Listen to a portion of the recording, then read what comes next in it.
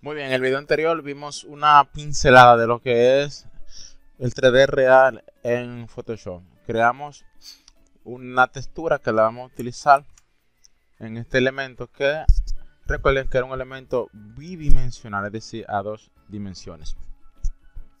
¿Qué hay que tomar en cuenta para sacarle mayor partida a lo que es los gráficos tridimensionales? Número uno, tener en cuenta dos paneles importantes, que es el panel 3D y el panel propiedades. Ambos paneles se encuentran en ventana, de, manera que en caso de que no se puedan visualizar, usted va a ventana y activa cada uno de estos paneles. Aquí lo tenemos.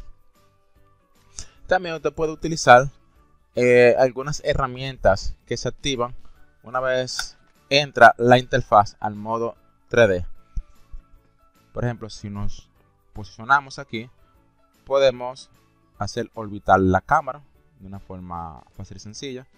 Podemos desplazarnos, clic izquierdo pisado, y podemos hacer un traveling con la cámara. Ahí lo ven. Excelente.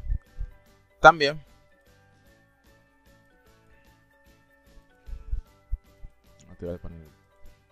propiedades, vamos a integrarlo aquí. De modo que no se me quite. Ok.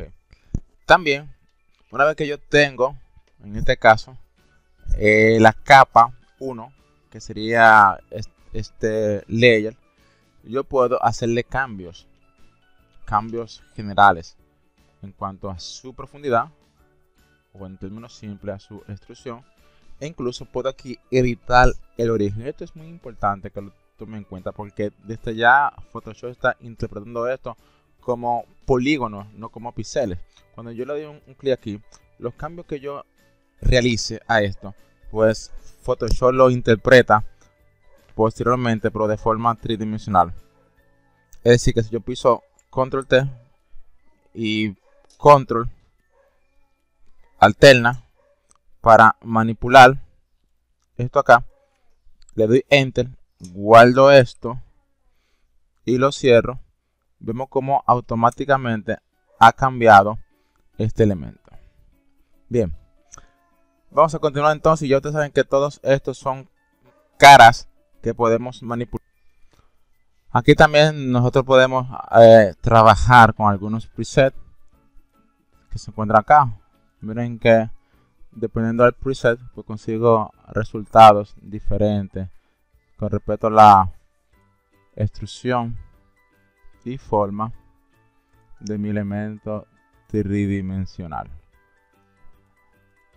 Ahí lo ven.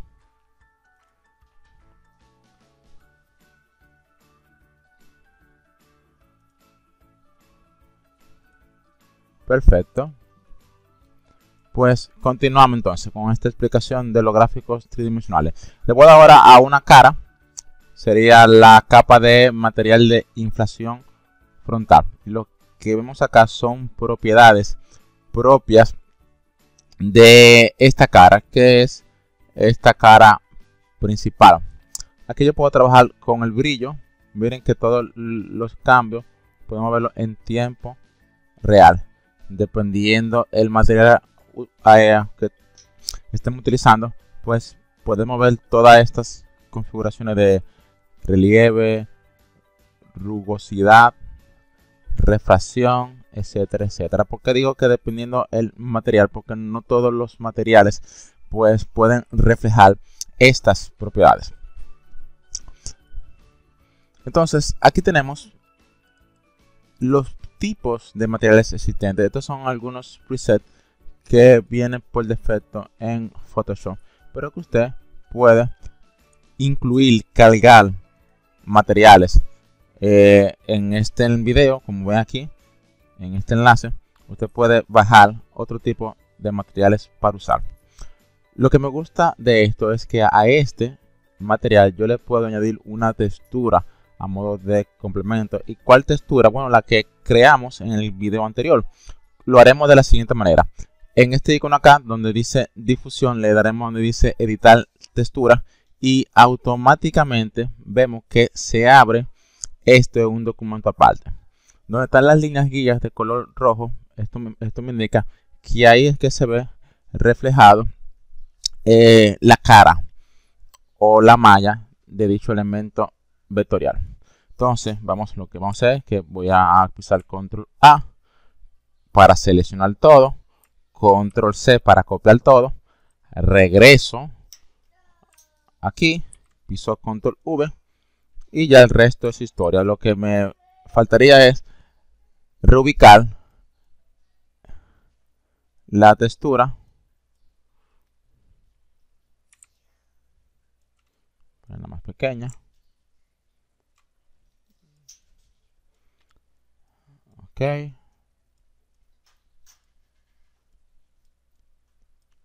Listo. Para que eso se actualice pues, tengo que pisar control S o archivo guardar y si quiero ya lo puedo cerrar y aquí vemos ahora cómo ese material adquirió la textura que yo había creado posteriormente. Miren cómo en este caso sí podemos ver el relieve que en el otro material no podíamos ver. Bien. Aquí vemos también ya, miren, esto me va a dar resultados diferentes dependiendo de la configuración que yo utilice acá y dependiendo el material que aquí yo tenga y adicional a esto eh, como yo complemente lo que es la textura usando lo que son estos elementos de difusión especular iluminación ambiente entre otros. Espero que les haya gustado este video tutorial y que le podamos sacar provecho a todo el potencial que tienen los las, las texturas y los materiales en Adobe Photoshop